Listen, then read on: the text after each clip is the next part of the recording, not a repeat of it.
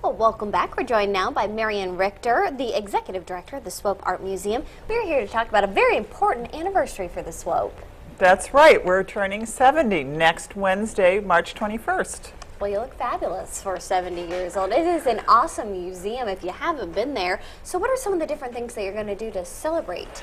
Well, the big event will be at 11 that day, and we will have the mayor, Mayor Bennett, and we will be having a special ceremony just to commemorate the 70th anniversary of the opening of the museum. And there will be a special cake courtesy of Baesler's Market. And so this is all free. And if you are available at 11 in the morning, please come by. It's going to be both um, informative and important for the museum, but also fun for everybody else. Well, and tell, for people who haven't been to the Swope, tell us a little bit about what type of art is showcased there. It's a very special museum because we showcase American art, mm-hmm. and that goes right to the history of the museum. When the museum opened, its focus was American art, and that was unusual in the time. There were very few museums to look at American art as their hmm. specialty.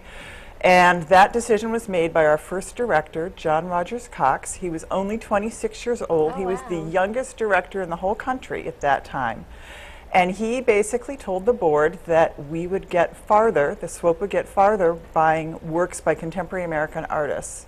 So our collection includes extremely fine examples by Grant Wood, um, Edward Hopper, and Thomas Hart Benton. And those were all through his discerning eye and very unusual for the time and probably what we're still best known for.